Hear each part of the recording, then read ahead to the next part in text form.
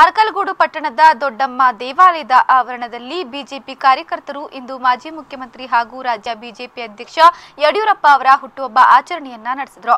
ದೇವಾಲಯದಲ್ಲಿ ವಿಶೇಷ ಪೂಜೆ ನಡೆಸಿದ್ರು. ಬಳಿಕ ವೃತ್ತದಲ್ಲಿ ಪಟಾಕಿ ಸಿಡಿಸಿ ಕೇಕ್ ಕತ್ತರಿಸಿ ಸಂಭ್ರಮಿಸಿದ್ರು. ಈ ಸಂದರ್ಭದಲ್ಲಿ ಪಕ್ಷದ ತಾಲೂಕು ಅಧ್ಯಕ್ಷ ವಿಶ್ವನಾಥ್ ಜಿಲ್ಲಾ ಉಪಾಧ್ಯಕ್ಷ ರಾಜೇಶ್ ಹಾಗೂ ಮತ್ತಿತರರು ಹಾಜರಿದ್ದರು बोलो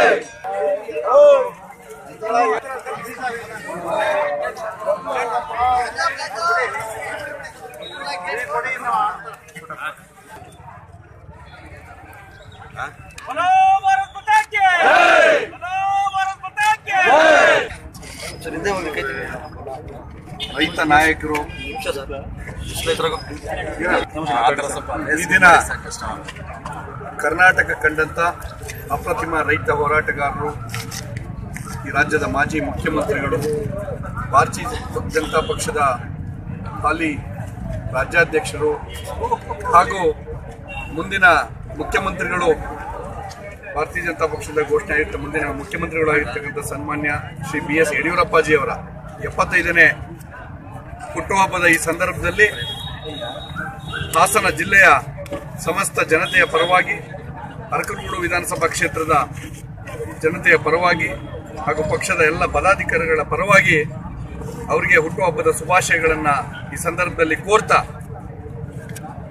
ಏನು ಕಳೆದ ನಲವತ್ತು ವರ್ಷಗಳಿಂದ ಸನ್ಮಾನ್ಯ ಬಿ ಎಸ್ ಯಡಿಯೂರಪ್ಪನವರು ರೈತರಿಗಾಗಿ ತಮ್ಮ ಜೀವನವನ್ನೇ ಮುಡುಪಾಗಿಟ್ಟಿರ್ತಕ್ಕಂಥದ್ದು ಈ ರಾಜ್ಯದ ಪ್ರತಿಯೊಬ್ಬರಿಗೂ ಗೊತ್ತಿರತಕ್ಕಂಥ ವಿಚಾರ.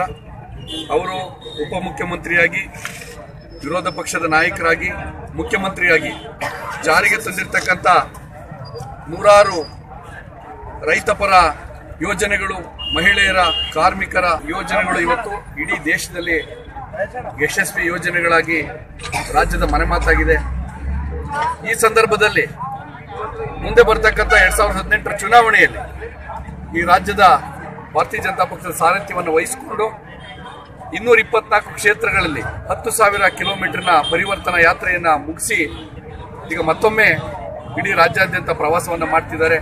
ಇದೇ ದಿನ ಸನ್ಮಾನ್ಯ ನರೇಂದ್ರ ಮೋದಿಯವರು ಆಗಮಿಸಿ ರೈತ ಸಮಾವೇಶವನ್ನು ದಾವಣಗೆರೆಯಲ್ಲಿ ಉದ್ಘಾಟನೆ ಮಾಡಿದ್ರ. ಮುಖಾಂತರ ಯಡಿಯೂರಪ್ಪನವರ ಹುಟ್ಟುಹಬ್ಬವನ್ನು ಆಚರಣೆ ಮಾಡ್ತಾ ಇದ್ದಾರೆ.